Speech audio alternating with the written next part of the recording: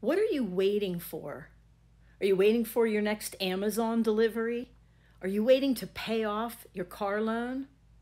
Waiting to find the love of your life? Are you waiting to graduate from college? Waiting for retirement? Are you waiting for your next dream vacation? Or are you just waiting to catch a break? You know, Hebrews chapter 9, verse 28 says that Jesus Christ is coming back a second time to earth. And this time it says he's coming back to bring salvation to those who are waiting for him.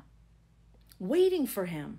It doesn't say that Jesus is coming back for a people who just claim to know him, or who sometimes read their Bible, or who occasionally go to church.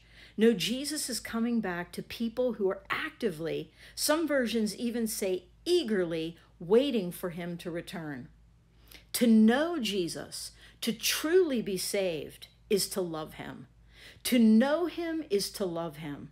And to get to know him better is to realize that you want nothing more than to be face to face with him.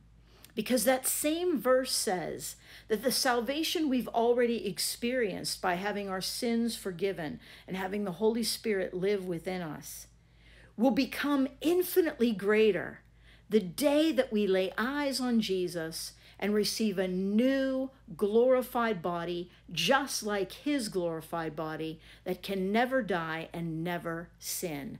Everything is going to change on the day we finally are united with Jesus Christ. So, what are you waiting for?